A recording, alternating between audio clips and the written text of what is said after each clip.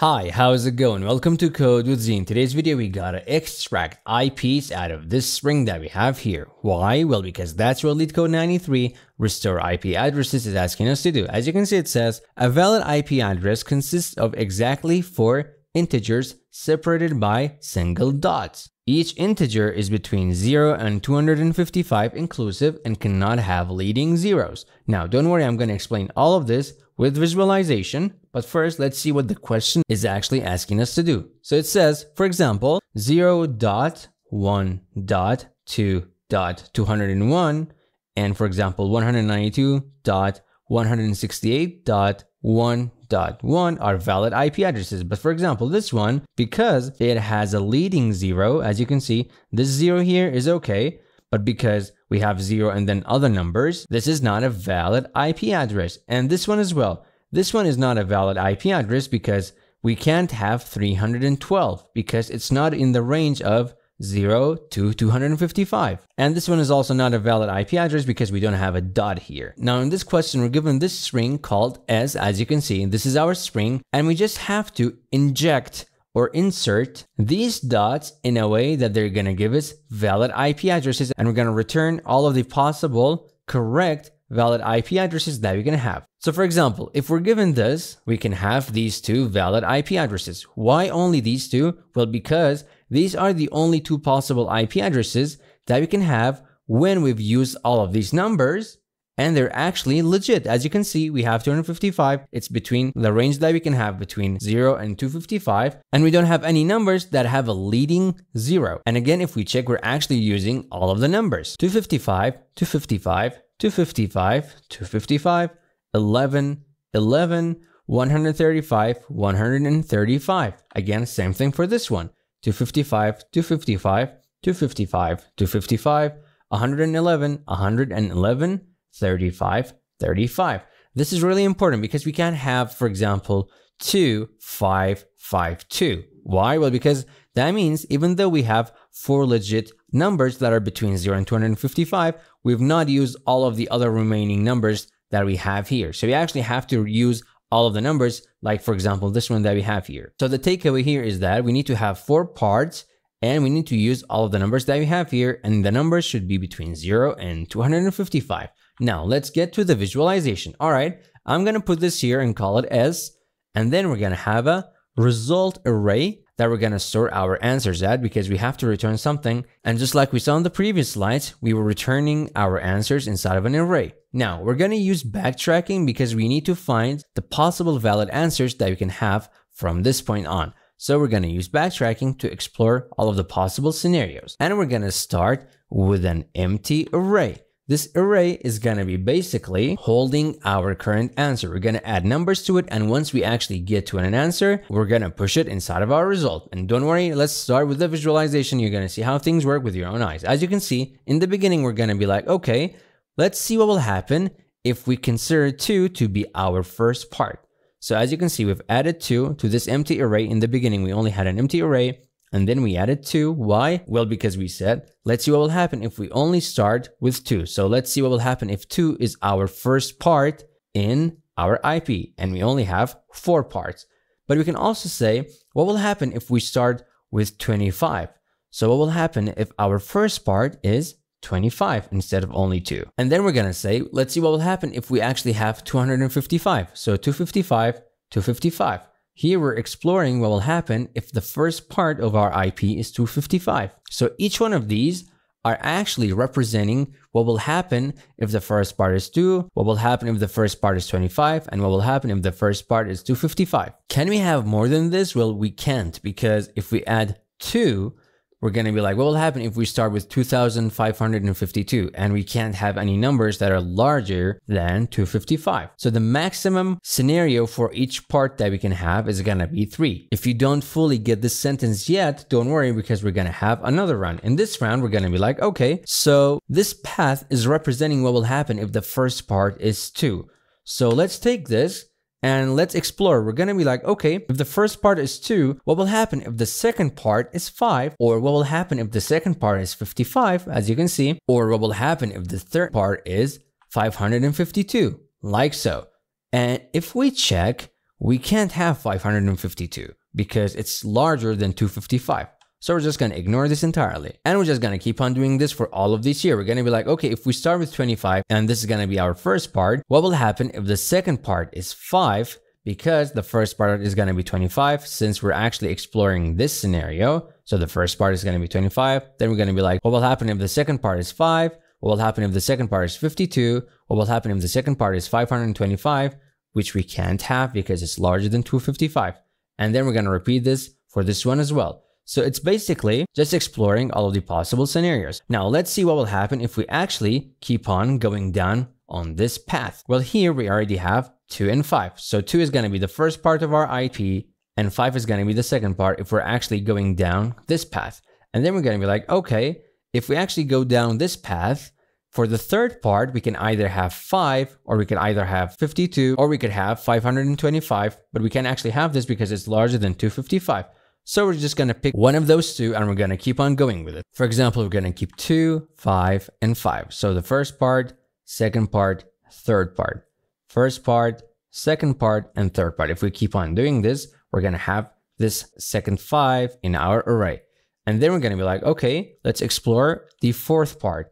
Well, the fourth part can be 2, and this is valid. This is between 0 and 255, between 0 and 255, between 0 and 255, between 0 and 255. But we're done with all of our four parts. However, we've not used all of the numbers that we have here. So that's not going to be a valid answer because even though we actually got to the four parts of our IP and all of these numbers are between 0 and 255, each number is representing one of our parts and they're all between 0 and 255, but we have many numbers that we've still not used. So this is not going to be a valid answer and if we actually go down this path, we're not going to reach an answer. So now that we have this back here, let me show you a valid answer. So as you can see on this path, 255 is like saying the first part is 255. So red is going to be 255.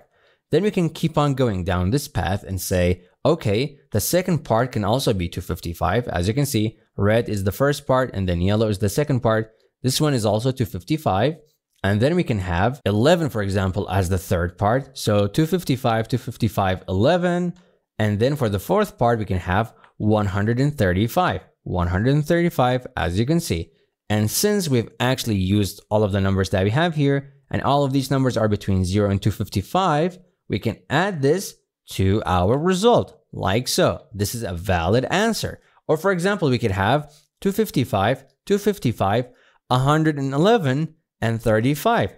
That's also a valid answer because it checks these two conditions. They're all between 0 and 255, and we would be using all of the numbers that we have here. So this tree is going to keep on going until we actually store all of the possible solutions that are going to check these two conditions. Now, this is going to be it. Let's code this in the simplest way possible. Alrighty, let's solve this together. So we are already given the string, as you can see, and it's called s. And now we need to have our result array that's going to be initialized to an empty array. And then we're going to have our backtracking function. So function backtrack, and then this is going to take two variables. And don't worry, I'm going to explain everything here. The first one that this is going to take is going to be looking really similar. It's going to be start. So basically where we start from. So for example, for the first part, we start with two and then we were like, okay, let's see what will happen if we start with 25. And then we were like, okay, let's see what will happen if we start with 255. So where we start from, this is going to be that. And then we have our parts like so. So each part, if you remember, we had four colors and each time once we went down the tree, we were adding an extra part. So we need to have four parts and these four parts are going to be representing our IP because each valid IP has four parts.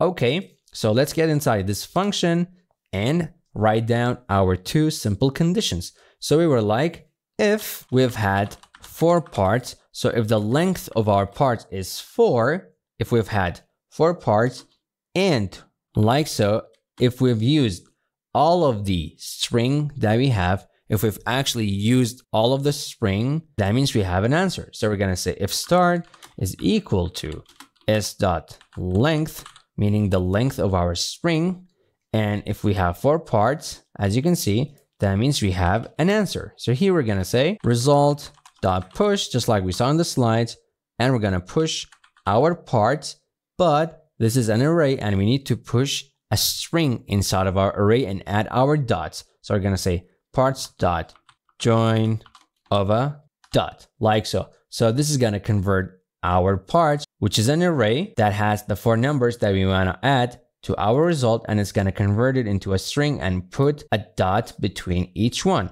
And after that, we're just gonna return because this is gonna be our answer. Now, if our parts dot length is equal to four, but we don't actually fulfill this one, so we're not gonna get inside of this one and return, but our parts dot length is four, that means we've actually had four legit numbers, but we've not used all of the string. So we're just going to return because that's not going to be a valid answer. And we don't want that. Just like the example we had when we said we have 2, 5, 5, 2. These four numbers are legit, but we've not used all of the numbers that we were given by the question. Now, here we need to call our backtracking function over and over again.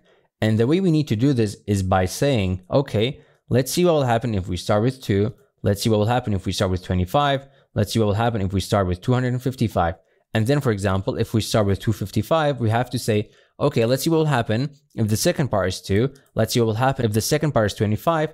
Let's see what will happen if the second part is 255, and then so on and so forth, just like you see here. So for doing this, we need to have a loop. We're going to say for let i being equal to 1, and we want to keep on looping as long as i is smaller or equal to 3 and i plus plus. Why 3? Because if you remember, let me add this here like so. Because if you remember, we only had three possible paths for each part. We could say take one number, for example 2, or take two number, for example 25, or take three numbers, for example 255. So we only have three possible paths that we can take. And that's why we're saying keep on looping for only three times. We go from one all the way to three. And then here we say we need to get these parts of our string that we're talking about. So for example, we need to get this 2, or we need to get this 25, or we need to get this 255 inside of our string that we're given, right? So here we say, okay, let's call this segment, for example, and this is going to be s dot slice because we want to take from the start all the way to start plus i. And in the beginning, i is going to be only 1, and then 2, and then 3. So this is why we go from this to this and this, like so. And once we've done that, we need to see if this segment is actually valid. By valid, I mean if it is between 0 and 255 and if it doesn't have any leading zeros. So here we're going to say if is valid of segment. So if the segment is valid, do the following. And you might be like, Zi, we don't have is valid. Well, you're definitely correct, but we're going to implement this in literally a few seconds. And this is going to be like two lines of code. Don't worry. It's just going to check if the segment is between 255 and 0 and if it has any leading zeros. It's only like two lines of code, so let's not worry about that. Let's just focus on that. We're gonna check if the segment is valid. So if it is between 0 and 255 and it doesn't have any leading zeros, we need to add that to our parts. So we're gonna say parts.push of segment because this segment is valid since we're already inside of this if statement. And once we've added this to our part, we need to call our backtracking function with it so we can actually explore that path and go down that path. So we're gonna say start plus i because start has been updated based on how far we went through this string. As you can see, we went from start to start plus i once we got the segment. So that means we've actually traversed or went through the string so we want to say backtrack at this position star plus i because we're at star plus i because we have this segment and we're going to pass it our parts because now our parts is updated with this new segment. So we want to see what will happen if we go down this path. This is where we said, for example, if we have two, let's see what will happen. If this is the first part and this had three possible paths on its own, and then the next one had three possible paths on its own as well. So this is going to explore those paths. We're just going to be like, okay, we found the segment, we pushed it to our parts. I'm going to give you the parts and you go explore. And that's going to be it. But for the next part, for example, we said we want to start with 2, but we also want to see what will happen if we start with 25.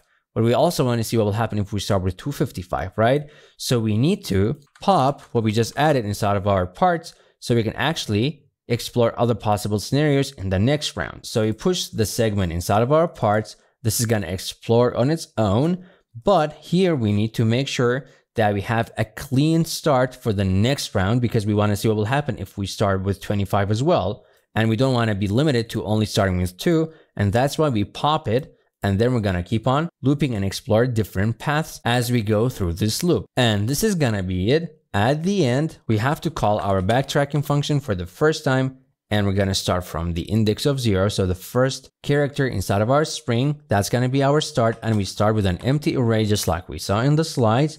And then at the end, we're going to return our result array because it's going to be filled with answers because of our backtracking function. But we also need to implement our simple is valid function. So function is valid. This is going to take a segment. And here we're going to say if it has a leading zero, we need to return false because it's not going to be valid. So we're going to say if segment dot length is greater than one and segment at the first character is equal to zero, return false. Simple as that. And the reason we check if it has a length greater than one is because zero by itself is accepted, but what's not accepted is, for example, zero and one. So we need to make sure it has at least two characters and then check if the first character is zero or not. And if it is zero, it is not accepted. And then we need to check if it is between 255 and zero. So we're going to say if number version of segment, so this is converting it into an integer, is greater than 255, or number version of segment is smaller than zero. If we have either of these two conditions, return false. And if that was not the case, return true. Simple as that. This is going to be our simple is valid function. And this is going to be all of our code, as you can see. Now, I hope I have not made any typos. Let's see if we can actually get accepted. Moment of truth and awesome. We got accepted. Now, let me zoom out and submit this so you can actually see if you can actually pass all the test cases. And let's see.